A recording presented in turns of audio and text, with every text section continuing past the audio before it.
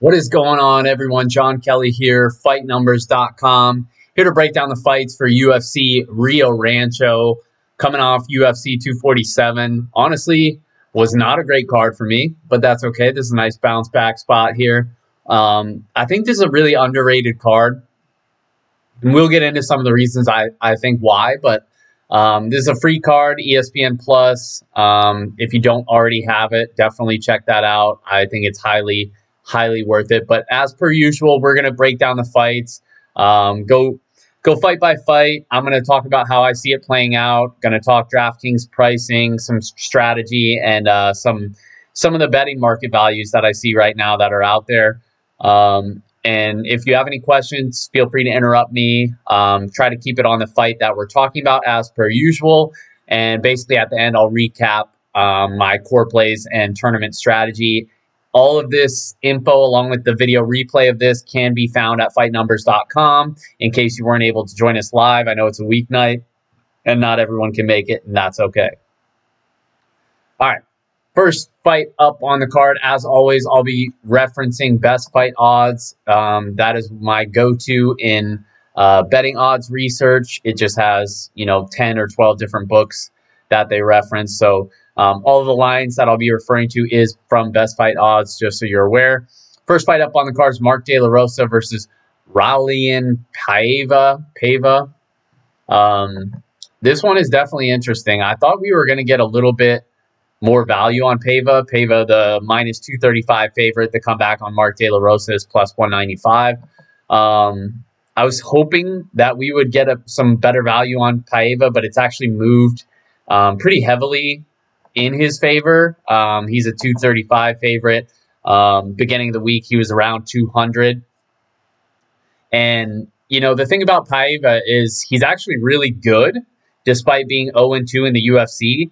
Paiva is a Team Alpha Male product. He was on a 12 fight win streak. He was previously Brazil's number one flyweight prior to making his UFC debut. And in his debut, he dropped that split decision against Kai Kara France, which I thought he won kind of a robbery, um, in my opinion. If you don't think so, go back and watch the fight. Um, in his next fight, he faced uh, Rogerio Bontorin, who's actually fighting on this card as well. He's going to fight Ray Borg. We'll get to that fight later. Uh, but he landed a big shot early that actually caused the doctor to to stop the fight and examine Bontorin. And basically, his his um, it looked like his che- cheekbone. I don't think it was his orbital. I'm pretty sure it was his cheekbone was really messed up. I mean, he had a a big old welt on his cheekbone. It was it was pretty gruesome. Um, but I guess the doctor said he was okay to continue, and he's lucky he did because later on that round he actually caught Paiva with a nasty knee that opened up Paiva's eyebrow. So the doctor actually had to come back. This was the same round, the first round. Doctor had to come back and examine Paiva now to see if he could continue, and he decided that he couldn't. So after getting screwed on the Kai Kara France decision, then he gets a doctor stoppage loss in a fight that he was actually winning um, up to that point. So it's just been really unfortunate run in the UFC for Paiva, and I think this is definitely where he rights the ship against Mark De La Rosa, who's pretty much a one-dimensional grappler. Um, he is a black belt in BJJ, likely going to try to take the fight there, but Paiva has like absurd takedown defense. Um, so really some of the best takedown defense I've seen at this um, at this in this division. Um, so take that for what it's worth. Um, you know, Mark De La Rosa struggled to take Kai Kara France down, and if that's the case, then I think Paiva will be able to keep this on the feet and beat him up on the feet. So that's kind of how I see this this fight playing out. I do think De La Rosa is a live dog because um, he has a decent enough chin and um, he trains out of a good camp. He's out of Factory X Muay Thai. Um, but like I said, I mean, he's pretty much just a one-dimensional grappler. I think Paiva is the real deal, despite the the bad luck. I'll say um, up to this point in the UFC. So the official pick is Paiva by decision. Uh, like I said, I thought we get some better value out of the betting line, but it seems like everyone else is kind of on the same page, uh, despite Paiva's poor record. Um, but I'll still be adding it to parlays um, because I don't see De La Rosa really, um, really winning this one. and then in terms of uh, we'll pull up DraftKings scoring because I actually forget what they have um, these guys priced at. De La Rosa, Paiva. Yeah, so Paiva is 8,800. Not a strong inside distance line for 8,800. Um, like I said, I am confident he wins, but his inside distance line is plus 423, and it's actually gotten worse since the Open. So um, 8.8K, there's just uh, better targets. I like the bet more than I like. I like to play on DraftKings. Not that he can't score well, but at that price, he sort of has to score well. So, um, yeah. I, I just realized I didn't pull up best fight odds. I have the image still showing. Sorry about that. For those of us joining us live, um, let's do this window capture. There we go. There's the odds. Oh, one too many. There's my beautiful face. All right. All right, we're back on track here. Um, yeah, so Paiva by decision is the official pick. Uh, next fight up on the card is Macy Chiasson versus Shanna Young. Um, this one is all all uh, Macy Chiasson, Chiasson here. Um, she comes in as the favorite, obviously. The matchup was originally supposed to be against Nicco Mont- Montano who I think she would have smoked as well. But uh, Young stepped in to replace her after uh, Montana uh, withdrew from the fr- from the fight. And right away, when when they announced uh, Young as the replacement, I instantly remembered watching her fight on Dana White Contender Series last summer because I remember her losing to like this uh, chubby fighter that looked like she wasn't anywhere near UFC level, and that, that's Sarah Alpar. Um, she actually um, got subbed by her and did not look great at all. Um, she's an aggressive fighter, but I mean, really, really low level stuff here. In terms of skill level, I think she's massively outmatched against uh, Macy Chiasson. Chiasson is a former um, Ultimate Fighter winner. She was undefeated in the UFC prior to her last fight against Lina Länsberg. Despite um, struggling to get her game plan going in that fight against Länsberg, I don't think that's going to be an issue here, and I still have confidence in her. Um, like I said, Shanna Young just shouldn't be at this level, honestly. Um, wrestling and grappling will be way too much for her, especially if Sarah Alpar's grappling was too much for her. And I even think um, Macy Chiasson has the advantage in the striking department as well. I didn't see anything that would indicate that Shanna Young um, he really has any advantage in this fight. So the pick is Ch- uh, Chiasson here, and I think she gets back on track with a, an early finish in this one. I actually do think she gets a finish, so I, I think there is uh, value a little bit in her inside distance line. Um, oh, it's actually gotten it's gotten a lot better. Yeah. So it was minus 145. Now it's minus 175. So a little bit uh, less value there. Um, but I do think uh, she gets a finish. However, um, in terms of DraftKings scoring, um, I believe she's the most. Is she the most expensive fighter on the card? Macy Chiasson. Yeah, 9.4. So I mean, she really has to get that early finish. Um, or if she gets it late and she needs to have a bunch of takedowns and advances. So, I mean, I'll have exposure. She's a little expensive to be a core play, uh, but I do think she gets the job done here um, in some pretty spectacular fashion. Next fight up on the card Dequan Townsend versus Devin Clark. Um, oops, let me X out of that. Yeah, so Devin Clark, um, Dequan Townsend, we just saw fight literally like three weeks ago, and now he's coming in as a replacement against Devin Clark. Devin Clark uh, was the heaviest favorite on the card. I think he still is, minus 310. The comeback on Townsend, 255. Um, we'll see if that's actually changed. Yeah, so it's actually gotten worse. 380 for Devin Clark. The comeback on Townsend, 315. Um, so it's actually changed in the past day or two. Uh, Clark doesn't have a good inside distance line though, and he is pretty expensive. Two thirty seven inside the distance, and it's actually trending the wrong way. Um, but you know, I do think he wins here. Obviously, we've seen Dequan Townsend plenty of times now. Um, it's pretty straightforward. Devin Clark's a high school state wrestling champion, champion and a junior college national wrestling champion. So Um, we know what his game plan is. It's his game plan every fight. He's going to wrestle. He's going to hold you up against a cage. He's going to land takedowns, top control. That's how he wins fights. Um, he trains out of Jackson Wink, so he'll be the local local fighter in this one. And what's interesting is Townsend just fought Bevon Lewis three weeks ago, who also trains out of Jackson Wink. So what was their game plan in that fight? Bevon Lewis held him up against the cage. Uh, I think he landed a takedown or two. I can't remember. Either way, it was a very boring fight. I could see this one playing out very similarly, um, especially with the uh, Devin Clark's a much better wrestler than Bevon Lewis. So I expect Clark to land multiple takedowns, to control every round, and possibly even get a finish on the mat. Although it's probably not super likely, I do think it is in the range of outcomes. Um, but the only thing with Clark that does give me a little bit of a pause is he has had a little bit of a chin issue at times. Um, and that's likely really the only path for victory for Townsend is that he just lands something crazy early that stuns Clark. But, you know, if, if you listen to anything of mine, you know that's not something that I generally bet on, especially with a guy like Townsend, who I just don't think is that good. Um, so the lean is Clark for sure. As for the betting line, it's just really wide for somebody that I think does have chin issues. Um, so I would actually rather, instead of betting him straight up, I would rather bet him by decision. Um, we'll see what the decision prop is for Devin Clark. Um, by submission, 573.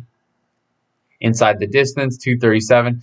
Clark wins by decision is minus 114. So if he wins, it is likely that it's decision instead of just betting him at minus 380, which is kind of absurd. Just bet him to win by decision. Um, and you'll pay a lot less uh, less juice on that one. But Devin Clark is the official pick, although I do think he's way overpriced on DraftKings. Next fight up on the card is going to be um, Casey Kenny versus Merab. Davalishvili. I'm sure I butchered that, but uh, Valishvili. I think the D is silent.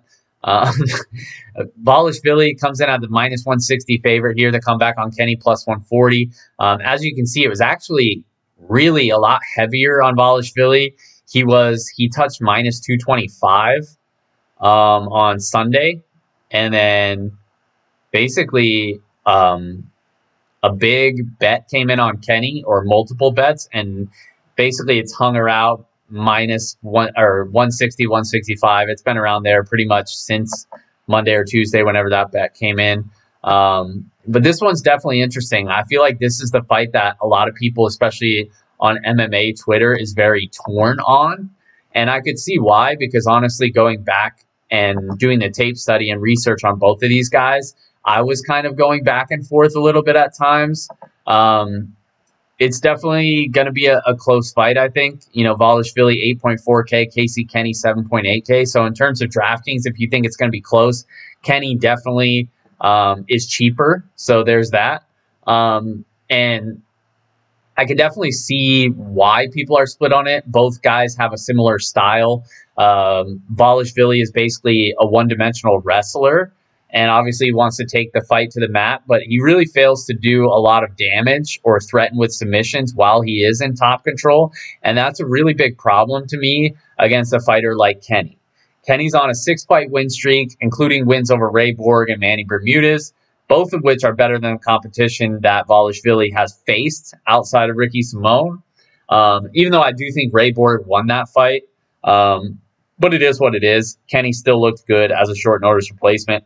Kenny's a black belt in judo, a brown belt in BJJ, which I think that's what I'm kind of uh, going with as the difference maker in this matchup is just the fact that Kenny is a really excellent scrambler. So in those scrambling exchanges, when it does go to the mat, I expect Ten- Kenny to come out in favorable position from that.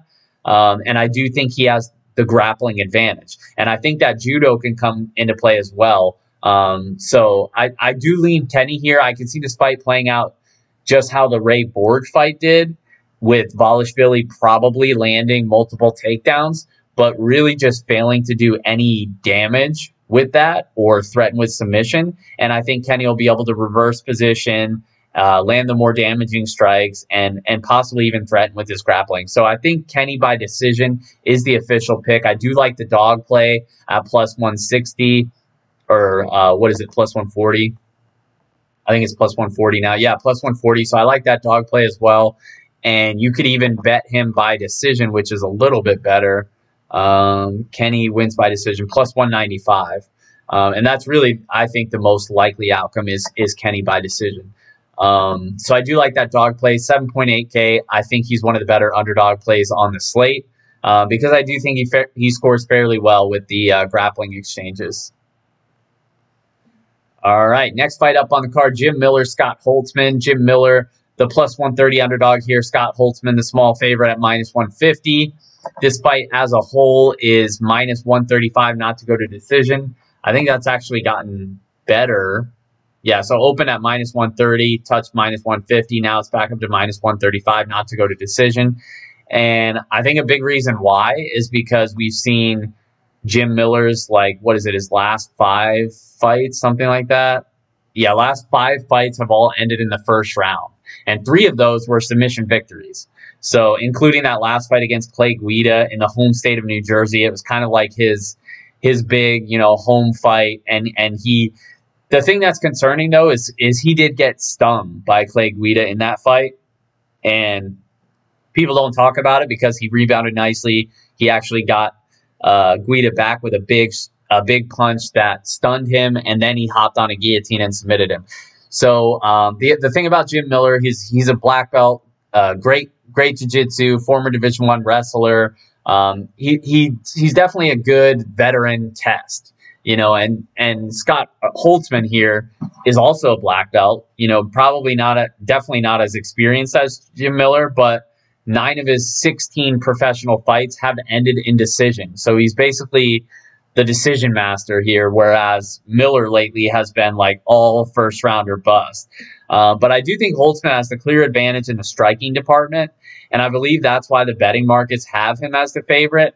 Um, but I do think, in terms of wrestling and grappling, I think I would lean Jim Miller, even though I think it's pretty close um, in the, in those two departments. I wish I had more of a stronger lean in this one, but honestly, like the more I dug into this matchup, it, it really just seems like a very close fight. Like if you told me, you basically tell me the like the outcome of this fight, and no no matter what, I wouldn't be surprised. If you say Jim Miller stubbed him in the first round, if you say Holtzman won a 30 27 decision, like really nothing would surprise me. I think these guys are very evenly matched, um, and I think you know it's it should be a fun fight to watch. I think just with the the testing each other's grappling skills if it goes there. Um, obviously, it's very exciting with two black belts. So, um, but I, th- I think I do lean Holtzman, although, like I said, it's not a strong lean. I think if he can hold his own in the wrestling and grappling department, then I sh- I think he would have the advantage on the feet,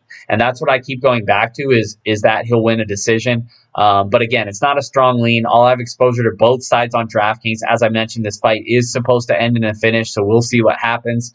Um, but I think it'll be decent for DraftKings scoring, and they're both priced in the mid range. So I, I, do I do like both sides of this fight, um, and I actually think there's some value on the the Jim Miller inside the distance line uh, because if he does win, then it's likely to come by a finish.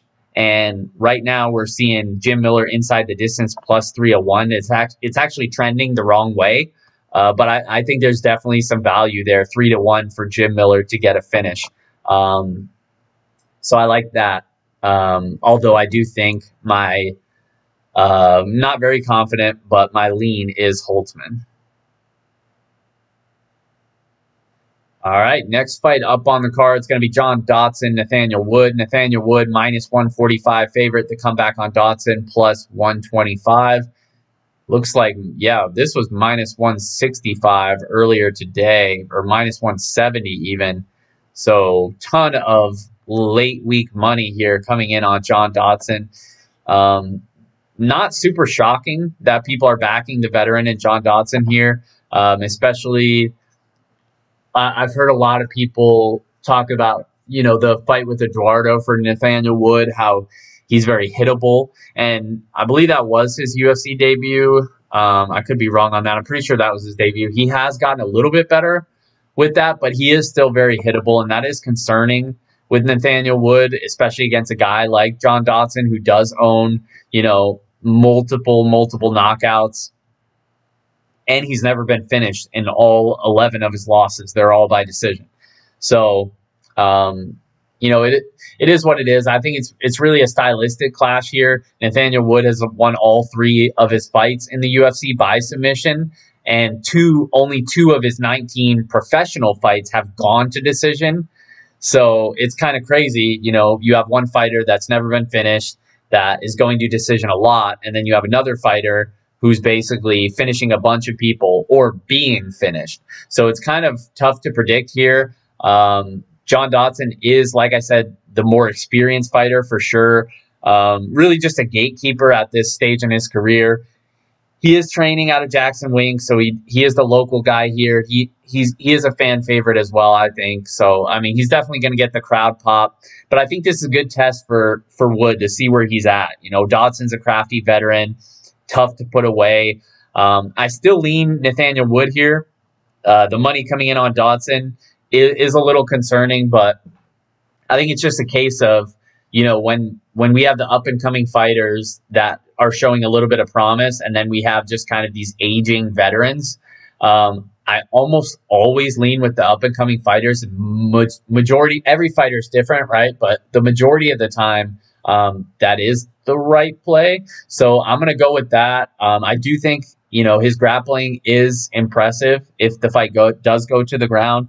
Um, although I think you know Dodson's a decent wrestler as well, so I don't know if Wood will be able to take it to the ground, and if he doesn't, um, maybe you know he is still hittable on the feet. It's possible, um, but I just think he's a more active fighter as well, so that that's going to come into play as as well. Um, so yeah, I mean it's it's not one that I really like betting on, although I do think um, there is some value in Woods' inside distance line just because he is a finisher and we've seen that pretty much every step of the way with him. And his inside distance line is plus 467. So I think there's definitely value in that. I like that bet quite a bit. I'm going to bet that. I haven't bet it yet. Um, I'll probably bet that later tonight. I'll see if it actually gets a little bit worse because it was plus 430. Now it's plus 467. So I might wait a little bit, but um, definitely going to have some some money on that because in Nathaniel Woods wins, he is getting finishes, and I know John Dodson's uh, never been finished. But you know, nobody thought Jon Jones would ever lose, and like it or not, but he, he probably lost on Saturday, even though the judges didn't think so. Um, so stuff like that. I mean, it's a high variance sport in MMA, especially with guys getting older. Um, they are not invincible. So I do like that bet at almost five to one for Nathaniel Wood to get a finish. Um, but I, but the pick is is Wood by decision here.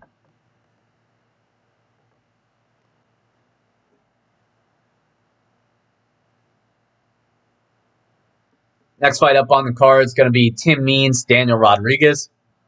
Tim Means minus 280 favorite. The comeback on Daniel Rodriguez plus 240. Means is definitely the uh, definitely not just the betting favorite, but the favorite in this one. People love Tim Means. If you don't know his story, he was basically like um, a drug addict and almost overdosed and died, and then basically turned his life around with mixed martial arts. Um, great story, um, great fighter. He's always putting on shows. Fight doesn't go to decision minus 225. So Vegas is thinking there's going to be a finish here. Um, I, I tend to think so as well. Means inside distance lines minus 116. So that's obviously really strong. Um, in terms of DraftKings, he's right around 9K, I want to say. Means Rodriguez. Yeah, 9,100. Um, Daniel Rodriguez only 7.1. Um, so that's definitely um, one where I'm probably going to have exposure to both guys, although, you know, the inside distance line is hard to ignore for Means.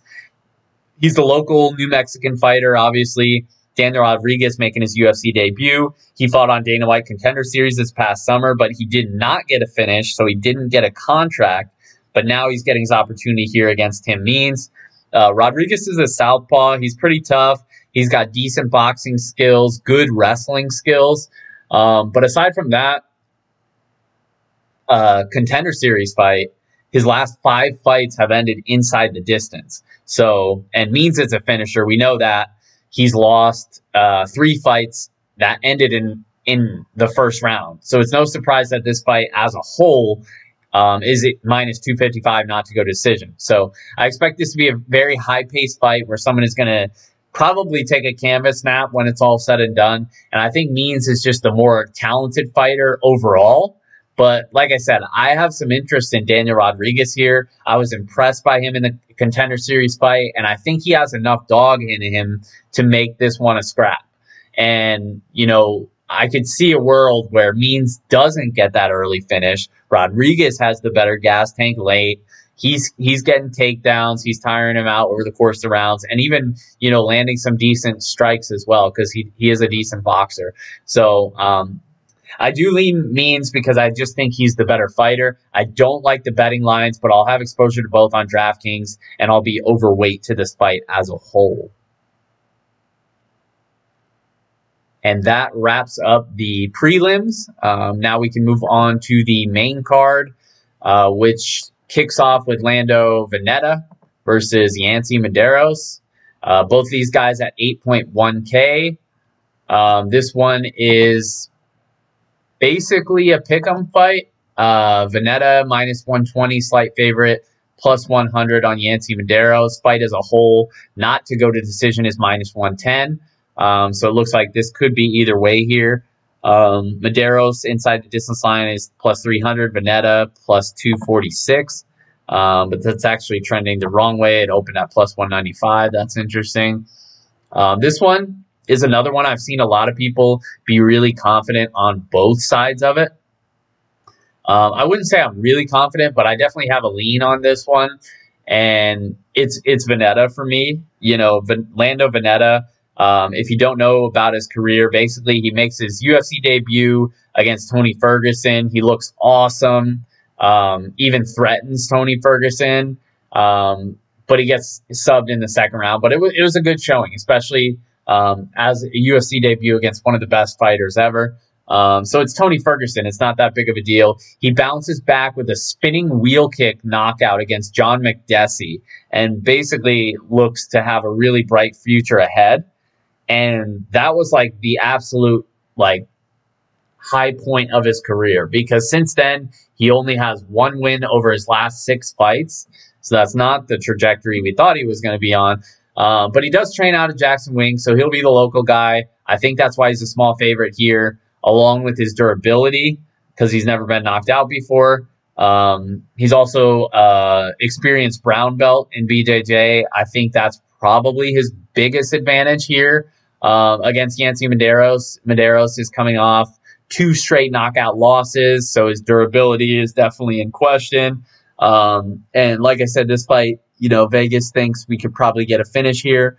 Um, but aside from the chin issues for Medeiros, he'll be at a grappling disadvantage, um, which I, you know, I think that could play a, a pretty decent factor here. Uh, but he does have knockout power. He has eight knockouts um, to his record. So, you know, outside of like Medeiros landing something heavy that knocks out Vannata, who's never been knocked out before, I don't think he wins this fight over the course of three rounds. And that's why I lean, um, I do lean Vannata here. I think Vannata could even get a submission here, but I'll have both sides of this fight on DraftKings just because I think this fight will score pretty decent. Um, this is one of the situations I've talked about before where I'm like probably like 80 to 85% sure that Medeiros will lose. But in that like 10 to 15% of the time where he doesn't lose, he, he wins by knockout. So that's the reason why I do have a little bit of an interest on Medeiros, even though I think he loses this fight. So I'll have exposure to both. I definitely, definitely think uh, Vannata will win, though. Um, but overall, I think that fight should score pretty well. A great, great fight to kick off the main card. I think it should be exciting. Next fight up on the card, we have Ray Borg, Rogerio Bontorin. We talked about Bontorin a little bit before um, when we were talking about the Paiva fight. Uh, Ray Borg minus 150 favorite. The comeback on Bontorin plus 130. Um, I'm on Ray Borg here. Um, I like Ray Borg. I like his story, uh, but I just like him as a fighter as well. Um, looking at the inside distance line, not great. Um, this fight to go to decision is minus 300. Um, so Vegas is telling us we probably see a decision here. I I would tend to agree. Um, Ray Borg's the another local Jackson Wink guy got back in the win column last time out against Gabriel Silva. That fight was at bantamweight. Now he's dropping back down to his normal weight class and flyweight. Um, he, you know, Ray Borg, we know what we're going to see. He's an excellent wrestler. He's landed 13 takedowns over his last two fights. And remember, those both of those fights were at bantamweight. So um, now landing that many takedowns at bantamweight, he should have no problem with a flyweight here. Um, going back to his original division, like I said. Um, but the problem is, you know, all he does is wrestle, wrestle and grapple, and that's fine. It scores well in DraftKings when he gets the advances. But in terms of striking, he doesn't throw volume on the feet. That's why the judges went with Casey Kenny in Kenny's debut, um, even though I think Borg won two of those rounds. But um, that is concerning for me because if he for, fails to get his wrestling going or grappling going, then he, he definitely scores low and busts his price. Um, his opponent, Bontorin, also a wrestling based fighter. He's a black belt in BJJ, so it's going to be tough to grapple against him. Um, he's coming off the doctor stoppage victory against Paiva, where he hurt him with that big knee I talked about. But but in the beginning of that fight, Paiva was piecing him up on the feet, and that's not something I think Ray Borg will do because, like I said, he doesn't throw enough volume. Um, so I think this one's definitely going to be, you know, we're going to find out who the better wrestler is here. And I think basically Bontorin has the advantage on the feet just by his activity alone. But I do think Borg is the stronger wrestler. And I, I, I think, you know, it's possible that um, we could see, you know, some grappling exchanges where one fighter might might threaten here. You know, I mentioned Bontorin's a black belt. Ray Borg might might have to be a little careful playing in his guard, but I don't think he's super dangerous off his back or anything like that. Um, so I think if Borg's able to land takedowns and avoid getting subbed, then I think he gets the nod here as the decision. Like I said, he's the hometown fighter. Um, so I like Borg here. That's the official pick is Borg by decision. Um, I'll have probably a sprinkle of Bontorin just in the event that he is the better wrestler, although I don't think he is. Um, if I were playing 10 lineups, I'd probably go seven Borg, three Bontorin. Um, if if I was playing them in every lineup, if I wasn't, maybe I would go like six Borg, two Bontorin, two lineups with nobody, um, or something like that. But I did hear Bontorin on Twitter, somebody posted it, has been like fasting since Monday to make weight for this fight. And I know obviously fighter fighters fast to make weight, but that seems a little excessive. Um, that would concern me if you're backing Bontorin. Um, so I mean, obviously that's narrative based, but I mean, if he's if he's struggling that much to make weight, then it's not a good weight cut, and he's probably not drinking water either. So I don't know. It just seems like that. That's I, I know fighters do that from time to time, but it's usually just like two days, maybe three days. He's literally doing it for like four full days. Um, that's a little scary. Um, so if anything, it just like me, like like it makes me feel more confident in Ray Borg. Next fight up on the card: Brock Weaver versus um, Kazula Vargas. Brock Weaver minus 265 favorite. Kazula Vargas uh, plus 225 underdog. Fight doesn't go to decision plus 145. Um, Brock Weaver, yeah, let's talk about him. Um, everybody's favorite up up and coming prospect, right? Um, no, uh, Brock Weaver. If you if you didn't watch Dana White Contender Series, um, you know he fought this past summer, earned the contract with a decision victory, which was impressive because anyone that watches Dana White Contender Series knows that basically, if majority of the time, if you don't get a decision, or if you if you don't get a finish, then you're not getting a contract. And the reason why Brock Weaver got a contract is because of his personality. And whether people like that or not, that's fact. Like Dana White loves this dude. They they want this dude to be, um, you know, they they want to get behind this guy, and I think they're they're setting him up pretty well here in a favorable matchup. Um, Brock Weaver basically, um, I, you know, he's not that good. I don't think he's that good, but his personality, it's like the UFC wants people to to think he's very good because he has such a great personality and character. Um, he's very entertaining. So he comes out in a Dana White Contender Series fight. He's he's got you know the Indian. I think he's like a is it Choctaw Indian or something like that in uh, um, Alabama, some I- Indian tribe in Alabama. Uh, I apologize for not knowing the exact um, tribe, but he's got a great story. He comes out with the Indian war paint, all that stuff, and then he starts pacing in the cage. He's like, "Somebody's got to go to sleep. Somebody's got to go to sleep." And uh, and then he, nobody went to sleep. He got a decision victory. Um, so that was that was funny. But he's definitely a character. Um, if you've seen any of the pre-fight interviews on him, um, he's definitely uh, fun to watch. I think he was originally supposed to make his UFC debut a couple months back, but was forced to pull out of the fight due to his t- testosterone levels being too high. They actually thought he was on steroids. Uh, turns out he just has really strong genetics.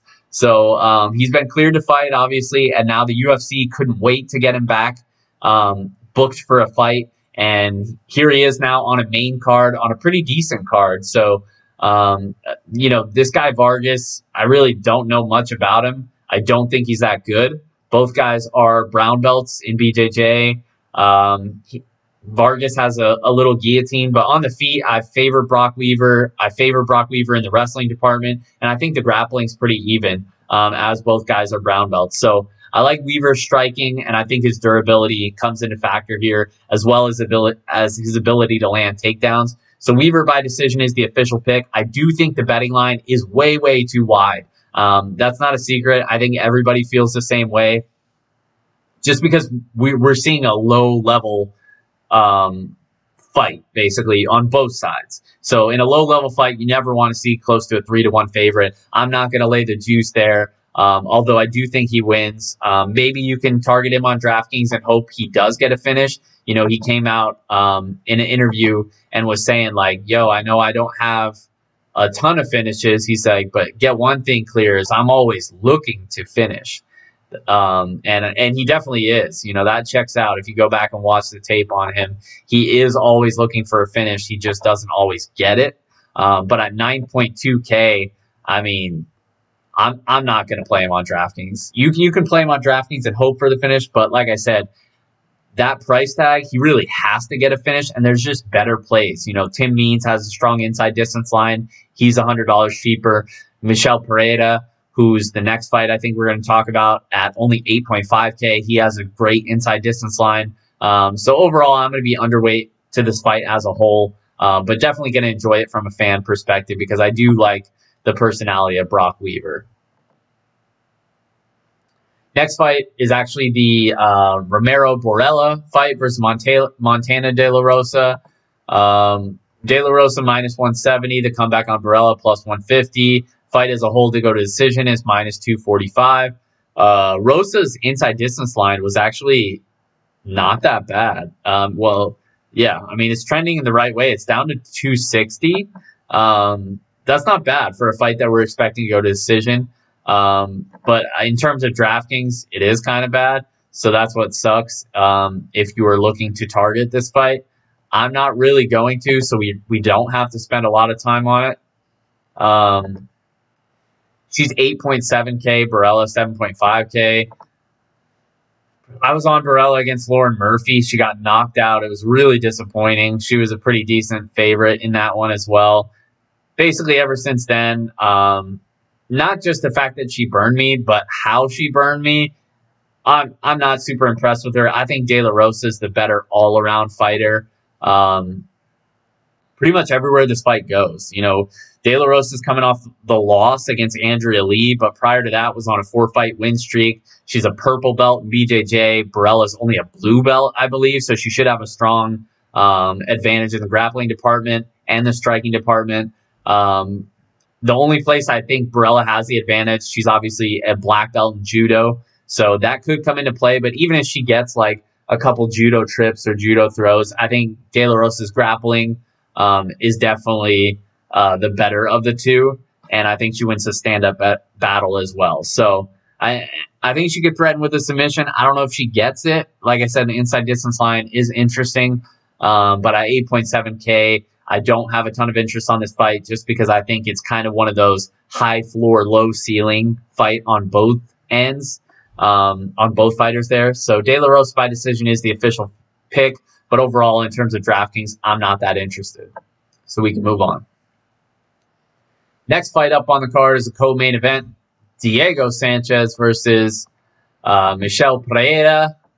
So this is what I'm going to call um, the people's main event. Uh, usually we have one of these on every card. This would definitely be that one for this card. Pereira is a minus 160 favorite to come back on Diego Sanchez, plus 140. Fight as a whole, minus 205 not to go to decision. Um, so basically, for those that don't know, Pereira is the guy who does a lot of crazy stuff um, during his walkout in the cage. Literally, like we saw the fight against Leon Edwards, um, doing like spinning crazy stuff, running, sprinting, trying to kick off the cage, doing backflips in the middle of a fight against Tristan Connelly. He ended up losing that fight. Um, got super gassed out, um, was breakdancing on his way into the octagon, doing flips during the fight, like flips into guard, crazy stuff like that. Like he wants to put on a show. Um, very, very fun to watch. Um, and then on the other side, we have Diego Sanchez, you know, a crafty veteran, uh, black belt in uh, BJJ. He's been, you know, he was the original Ultimate Fighter winner. Um, you know, it's it's just it's it's going to be a fun one. I mentioned Pereira best inside distance line on the slate, and at just 8.5k on DraftKings, I think, yeah, 8.5k. I can't ignore that you know that that alone is going to make me have a lot of him just because that's really really hard to ignore. Um, minus 126 is his in inside distance line. Um, so at 8.5k that's that's very very strong. He's a strong tournament play. Um, i do think diego sanchez is live though just in the event that like we saw it with tristan connelly. You know if pereira gasses out um, then you know Sanchez could threaten. He is a black belt. Um, if it goes to the mat and Pereira is gassed, then Sanchez is live. That's pretty much the only way Sanchez is live. Aside from that, I think Pereira pretty much dominates. Sanchez is kind of punch drunk at this point. Either that or he's just playing crazy. Maybe a little bit of both. Uh, but I don't think it's going to take much to get him out of there. Um, and Pereira does hit very hard. So Pereira by knockout is the official pick. I'm going to have a ton of him on DraftKings. Hopefully he doesn't burn us like he did against Tristan Connelly. Last fight up on the main card is the main event Corey Anderson versus Jan Blachowicz. Corey Anderson minus 210 favorite to come back on Blachowicz plus 175. Fight doesn't go to decision is minus 130. Um, I actually think there's value in fight goes to decision. Neither of these guys are finishers, I'd say. Um, inside distance line for Blachowicz, plus 315. Um, inside distance line for Anderson is plus 185. So basically, um, this one, I think, is pretty much one of two ways. Either we see Corey Anderson wrestle and I think he we're going to see that regardless. But I think we see him have success with wrestling, holding him up against the cage, and dominating him basically over the course of five rounds with his wrestling and winning a decision. Or because Corey Anderson has been knocked out and he, some people would say he does have chin issues, uh, been knocked out against OSP, been knocked out against Jimmy Manuwa, um, you know, but you know he's rebounded well. Three straight decision victories, then the knockout win against Johnny Walker. Um, I was big on Johnny Walker in that one, but when we do see him fight two decision, he's doing enough in terms of takedowns um, and and advancing to where he scores very well on DraftKings. So at 8.9k, if you think he can land takedowns and avoid getting knocked out, then I think he is a strong tournament target. And that's kind of my lean here. Um, just because I, you know, against guys that I, I don't think he is he's shot by any means. So and like I said, Blachowicz not really a finisher. So I think Corey Anderson can avoid the knockout. I think he can wrestle, have some success there, land takedowns, advanced position, maybe even threaten with some grappling. Uh, but either way, I think he has a high floor. I do feel comfortable um, uh, leaning him for sure. I'll, it's a main event. I'll have pieces of both, but definitely a stronger lean towards Corey Anderson. Um, I mentioned Blachowicz, not a, not a, a, strong finisher. Just fought five rounds with Jacare Souza. Only landed 71 significant strikes. Five round decision, and he scores 66 points. That's just not going to do it for us, even at 7.3K. Um, and obviously knocked out Luke Rockhold before that. Um, but you know, Luke Rockhold, that's a guy who I would say his chin is shot. So aside from that, you know, he's really doesn't finish fights. He's a decision machine. I know he has a couple subs, but not really a knockout guy. So um, yeah, I'm not a ton of interest for me in Blachowicz. I would lean Corey Anderson. I think he's a solid play on DraftKings as well. Um, so that's that's kind of how I see that one playing out. Any questions? Get them in the chat now. Um, I'll hang out here for just a minute or two before we get out of here. But that's how I see the fight playing out. I, like I said, I think it's an underrated card just because, you know, a lot of people, um, they're not the biggest names, but I, I do think we have some exciting talent, um, some up and coming talent, and definitely some entertainment. Even if you don't think these, uh, this card is very talented, you can't argue that it's going to be entertaining with guys like Diego Sanchez, Michel Pereira, Brock Weaver. Um, you know, there's just up and down. Ray Borg, love his story. Tim Means, you know, these it, it's really an underrated card. I'm super excited for it. It is uh, one of the free cards, um, so that's what I'm going to be doing on my Saturday. Saturday. Uh, for any updates, um, you know, the article to this video basically. Um, article is always similar, but it does go into a little bit more detail. Is going to be up on FightNumbers.com. That'll be up. Uh, that'll be posted tonight. Um, this video will be available in podcast forms on Apple, uh, Spotify, and Stitcher, and on YouTube as well on youtube.com. If you look, uh, search for fight numbers, it'll come right up. Fightnumbers.com is the website. It will have ownership projections posted by tomorrow, DraftKings player rankings, and line movement updated on Saturday. Um, again, that is all free, 100% free. I ask of nothing from you guys uh, just please click the heart button on my channel um, and give me a follow. I definitely appreciate it. But good luck this this week, guys, and we will see you next week.